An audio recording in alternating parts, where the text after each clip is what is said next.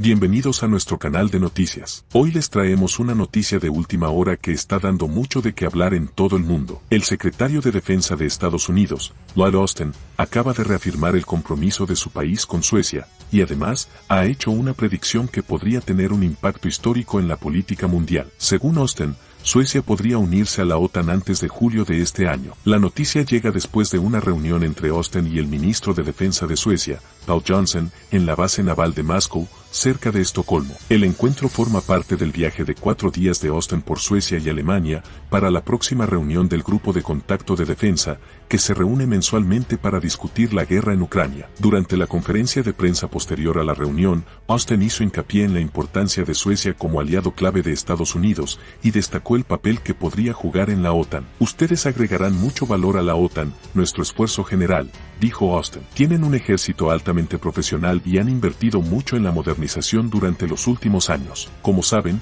nuestras fuerzas han hecho mucho juntas y, por lo tanto, han aumentado la interoperabilidad aquí durante los últimos años. Espero obtener buenos resultados de eso. La posible entrada de Suecia en la OTAN ha generado un gran debate en el país, ya que algunos sectores políticos se oponen a la idea. Sin embargo, según Austin, Estados Unidos y sus aliados seguirán trabajando juntos para fomentar una decisión favorable. Haremos lo que hemos hecho hasta ahora y aún más, y luego evaluaremos a nuestros aliados muy importantes y los alentaremos a tomar esa decisión lo más rápido posible, dijo Austin. Estoy seguro de que estos países llegarán a esa decisión, y luego confío en que la alcanzarán antes de julio. La noticia ha sido recibida con entusiasmo por muchos expertos en política internacional, que ven en la posible entrada de Suecia en la OTAN un paso importante hacia una mayor estabilidad en Europa. Además, la noticia ha generado un gran interés en las redes sociales, donde ya se está debatiendo sobre las implicaciones de la decisión y sus posibles consecuencias en la política mundial. Y así termina esta noticia de última hora,